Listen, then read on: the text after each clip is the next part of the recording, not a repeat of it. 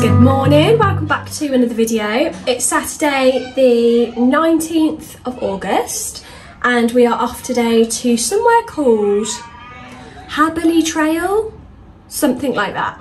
Something like that in Kidderminster with my mum and my auntie and her two little ones today. Well, I say little ones, they're not so little anymore. Um, but the boys are really excited. The weather is gorgeous. I've just washed my hair and I'm putting a little bit of makeup on and I thought it'd be really nice to film this weekend. Um, we're doing that today and then tomorrow we are going to a National Trust with Jack and Tanisha for the day, which will be really lovely. Um, and yeah, I just felt like vlogging this weekend. Ash is staying here because he's got to fix my car. It's been broken for a really long time. When I went to, had a Juice Plus event, where did I go? Reading feel like it was a couple of months ago now. Wasn't, was, maybe it was in July, maybe it's the start of July, I'm not sure. Anyway, it basically blew up on the way home. And I was really, really lucky to make it home because he said that it's a lot of work that's got to be done. So yeah, um, that needs, he's made a start. I think it's something to do with the turbo, something to do with the engine. I don't really know. But yeah, he's staying here and he's going to crack on with that. So I thought I'd take the boys out of the way and my mum suggested this and it was perfect. Well, I think my auntie actually suggested it. And I think we might go and see his mum and dad, Ash's mum and dad, afterwards because we usually see them on a Saturday. So yeah, that is the plan. We have been home from holiday for a week now and I'm finally caught up on all the washing and all the unpacking and stuff like that. The car has still got stuff in it because I feel like the car, emptying the car is just like an ongoing thing. So um, yeah, I'm going to try and do that before we leave. It's about nine now, we're going to leave at about 10.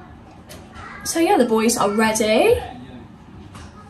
We've had a really nice week. We went swimming with my mum on Wednesday. We saw my dad yesterday and my granddad, which was really nice. And the weather was rubbish yesterday, but luckily it's really nice today. So um, yeah, I'm going to stop rambling on, I'm going to crack on, but I hope you enjoy the video. I hope you're having a lovely day, whatever you're up to, and I will take you along with us on our trail adventure. We have just got here to Habberley Trail. We've been through Kidderminster, we've been through Bromsgrove, all of that way. And we're here, aren't we? It took us about an hour, but the sun is shining. My auntie is already here. We're just waiting for my mom. She's like three minutes away. Atlas has had a nice long nap in the car, which is the dream because it doesn't mean that he, he won't need another nap now. So we've put some sun cream on, haven't we? We've got sandals, but everyone else seems to be wearing trainers. And we have parked, yeah, like everyone's in trainers. We've parked right down the end of like a muddy field. So we've probably got the wrong trainers, wrong footwear. But we'll, we'll see how we get on with that. with our sandals. Can you see your sandals in the bag? They're there, babe, next to you. Do you want to wear those or do you want to wear your green trainers? What do you think? Uh-oh. I, I don't know. Is that one of Attie's? No, that one of mine. That one's yours. That one's not yours. can't,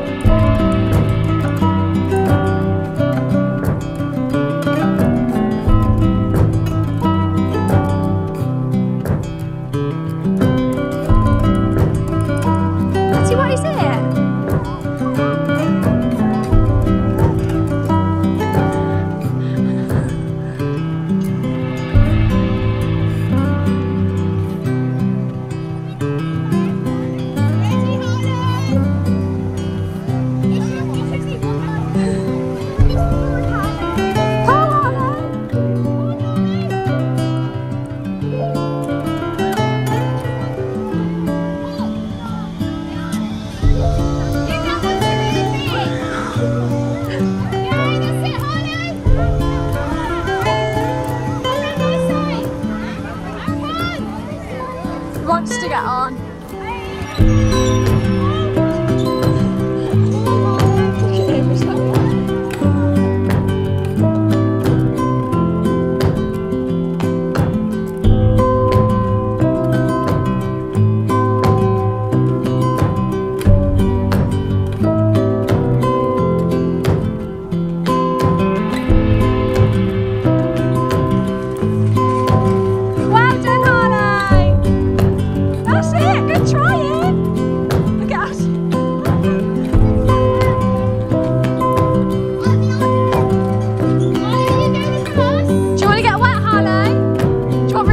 away the water?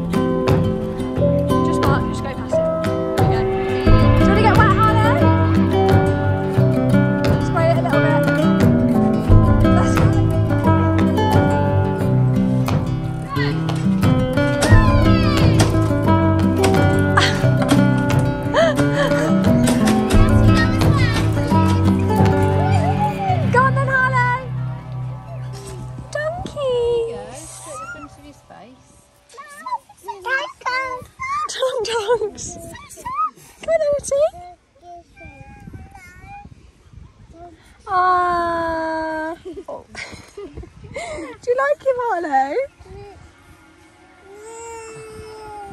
Look, they're like, have you got any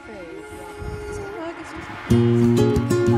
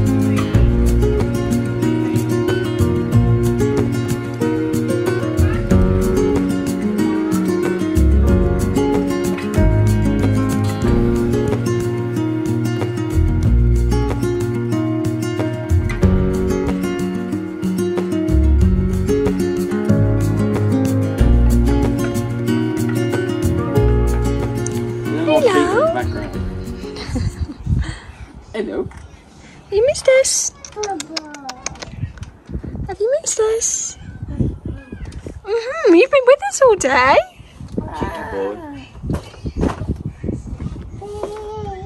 You couldn't come. Sorry. Ash has just made the grass. The boys have just made the grass. It's looking good. Well done. We have had the best day today at Stowe National Trust. Oh gosh, it is seven o'clock. It's nearly quarter past seven, and the boys are usually asleep in bed by now. Um, but it's like an hour away, and we left at sort of like half four. So Atlas slept the whole time. So there's no way Atlas is going to go to bed at normal time tonight. Um, and Harlow seems to have loads of energy, so we're just kind of running them around. Um, and I've been doing a little bit on the stairs, just caulking in and nailing their little nails in. And to give you a little update on the panelling, this is us looking on the stairs. It's looking so, so good. This has been a bit of a nightmare because it's not straight, it's like curvy. Um, it's looking really good. I've just been caulking it all in. Hello, my loves. I hope you can see me okay. I've propped you up in like a basket in the lounge, like a toy basket. Um, but as the summer draws to a close, I thought I would just quickly show you some of the summer books that we've been loving this year. Um, we've got two sets of shelves. We've got these ones in the lounge and the ones upstairs as well. So I've kind of divided them up into themes. So these are summer themed ones. And I'm just going to get straight into it. I'll move out of the way so you can see. The first little book we've got is this Summer by Shirley Hughes. And this came as part of the preschool hello, collection. Um, and it's just a beautiful collection of different poems and little like rhymes and illustrations. You want to take that back in the kitchen? Go put it in the sink for mummy. Yeah? Thank you. And I just love like sort nostalgic feel that these ones have to them. I think they're absolutely gorgeous and they're lovely to read as well. Why don't you put that in the kitchen? In the kitchen. In the sink. In the sink. Go on, go put it in the sink. The next one is this Summer in the Heat one, and we've got the winter version of this. I just got most of these on Amazon, and it's a lovely story of a little girl who waits till the summertime and then goes to see her granddad. And as you can see, the pictures are just stunning, they're so lovely. It talks all about the things you might find in nature and animals that really love the summer and animals that don't love the summer so much. And the last one on this top shelf is A Summer Story, Brambly Hedge. And we love all of the seasons of these ones. They're just so sweet. It's quite a longer story, so Harlow will sit and listen to this. He's four, but Atlas doesn't so much. He's almost two, and so for him, we just look at the little pictures, see what we can spot, and yeah, it's really sweet. They get married, and it's all about like the summer. Um, so we love that one as well. These are some of the first books by Gerda Muller. I think I first bought the autumn one, and that nostalgic feel, that Waldorfy kind of like vibe years ago, this is kind of where where I feel like I got into it. And I bought that, that book and just absolutely fell in love with it. So this is the final one that we bought this summer um, to finish off our collection. We've got all of the seasons now. And as you can see, it's got no pictures. Um, and for like a younger child, like Atlas, a toddler, they need to just look and spot. Yeah, tractor. Harlow loves to make up little stories, like, oh, what do you think they're doing here? And like, yeah, he loves to kind of tell me about the pictures. And they're just really, really lovely, really sweet. Another absolute firm favourite this year, we've read pretty much every single night, is Percy's Bumpy Ride. Oh. And I wouldn't say this is particularly about summer, but it definitely has like it's not winter, you know. He's mowing the grass, which is something you do in the summer, and then they they he builds this little like mm. lawnmower, doesn't he? Mm. Oh my goodness, should we open it up? what can we see on there? Tractor. Um, and these stories are just so lovely. They've got a lovely feel to them. They're very simple. Yeah, very. There's always a lovely lesson in there. It's all about friends, and we just we love that one. And then the last one in our summer themed books is another Shirley Hughes, and this is Alfie Goes on Holiday. Harlow in particular, these longer ones, Harlow really, really loves. Um, and yeah, he, he loves to sit and listen to this. And it's just a little boy who goes on holiday with his nan for a few days and he makes a little friend, and it's just really sweet. Nana. Nana. We read this a lot in the run up to our summer holiday and we took it with us as well to the seaside. And so it was really lovely to be able to talk about all the things we were going to do. Can I show? We were going to swim in the sea like he does and play on the sand and find rocks. And it's, yeah, very like nature based. Again, very simple. Kind of that old fashioned, simpler sort of like childhood um, feel to it. And I just think it's, yeah, they bring so much magic, I think. And it's a little boy like Harlow, so he kind of knew that he could like relate to him. So I definitely think we'll be buying more of the Alfie collection, won't we? I am currently looking for an autumn themed one. We have a lot of autumn books already, but yeah, ones that I know he's loved.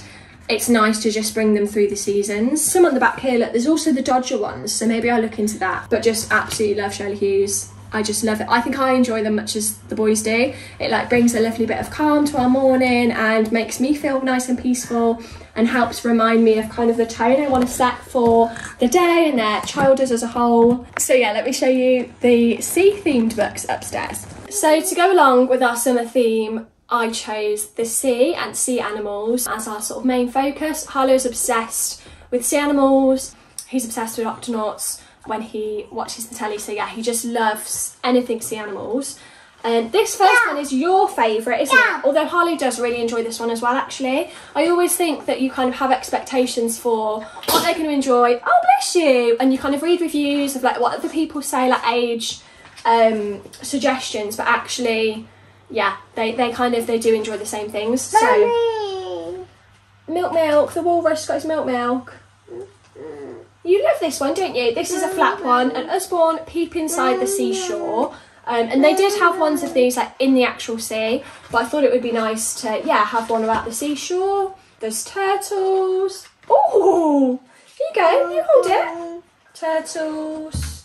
You sit there and read it with me. Don't, don't. Turtles. Laying their eggs. Uh, The next one again is more of a younger one. As you can see, it's very well loved. We've had this for a while, and it's another lift the flap, and it's just stripy little fish, and he goes through the sea, and it's like a pop up. Um, we actually were gifted this by a friend for Harlow's birthday last year, I think. Oh, you want to see this one as well? And she very, very kindly painted um, like story stones to go alongside. So we've got like the different characters. Um, so that's a really fun one. Again with the flaps. Oh dear, careful! You just have to be careful with extra, like the little ones, accidentally like ripping them. What other stories do we love at the moment? Like this one, Tiddler. Again, we've had this for years. I just pulled it out and put it on the shelf. Once there was a fish, and his name was Tiddler. There wasn't much to look at with these plain grey scales. I know this off by heart. The story's lovely, the pictures are lovely, and once you, I feel like Julia Donaldson ones are really easy to kind of like remember because they're rhyming. Once you can remember them, look, a sharky. Um, we were telling that at the sea, like to keep him entertained. If we were walking somewhere, I would like try and remember the story as much as I could and like tell it him. Um, and he loves to yeah fill in the little bits he can remember. Should we move up here? Another Julia Donaldson one. Um, again, we kind of have most of her collection, and they there's always kind of one to fit the season or the theme or the holiday or something like that. And yeah, Snail and the Whale is another one. This is probably my favourite. I love it so much. I just think it's so peaceful. And if you've seen the Julia Donaldson like little films they do, they're really peaceful. The audiobook, we've got the Snail and the Whale audiobook in the car. So again, I know this one off by heart. It was recited quite a few times on holiday. And it's just really lovely for them to be able to see like things that they know they've done or they're going to do. So there's even like the little lighthouses. He's like, oh, yeah. He remembers, Atty remembers that you saw the boat. Boat. And it's just relevant to what they're sort of doing at the moment. And yeah, it's been a really lovely way to kind of link that into when we're at home, like connecting the dots for them. And for them to be able to, yeah, like I said, we talk about what we've seen and they just have time to process it then. As well as it being a beautiful story. Lovely. This Big Book of the Blue was the first one, I want to say, of these books that we've got. We've actually got them all now. Oh no, I think the birds one was the first one actually. Um, because Harlow was obsessed with birds when he was little. He was little, but when he was like Atty, he just loved birds. Yeah. See the boats Bye. and the ships and the cat Da. and the seagulls, do. the snail. Uh, uh. Wow, and the rocks. What? And this is a really good one for like older children as well because look, flying fish. There's like a page on each each like different sea animals and it gives you loads of information. So we don't read like if if we if we choose this one for bedtime, we're like oh like just read a little bit off each page or like just pick a few pages to like really focus on. We are missing a page that needs to go back in. This has also been really nice propped up as the background for our nature table and it's just really lovely, a little glimpse into the sea. And actually, here we go. Although obviously I change them throughout the seasons, this is one that always comes out because his interest for sea animals is just always there. Beautiful whales look. So yeah, really, really lovely one. And our final one that I picked for our shelves this year, we'll sellotape uh, it back in. It's okay, you want to find the boats again? This one he actually hasn't read too many times, but when we have, he's really enjoyed it. But it's kind of been a bit of a later one of the of the summer. He's reached for some of the others more. Thank you. Boats. Yeah, little Yeah. boats. But it's a really lovely story of like the little fish and all the things he sees in the sea. And again, aren't the pictures just absolutely stunning? And I know that this will last us a really long time. He will enjoy that for, for quite a while, I think. And so will you. I think this will be on our shelves each year now for quite a few mm. years. And that is it. I thought I would just, I was, I say quickly show you, it's probably taken me about 20 minutes. You want to read this one now. So now we're going to read some stories, aren't we? And I'm going to end the video here. So I really hope you've enjoyed it and that you're excited now to get into our autumn content. Some lovely activities we've got planned, some lovely baking, and yeah, I'm really excited to kind of find our rhythm now heading into the new school year. Harlow would be starting reception, so it just feels like a really nice, like fresh kind of energy, um, which I think we need sometimes after the end of the summer. I've, I'll talk about this more in my next video. I'm not going to ramble on. Um, but yeah, I hope you've enjoyed. I hope you're having a lovely day, and I will see you in the next one. Shall we say goodbye to the camera? Bye bye.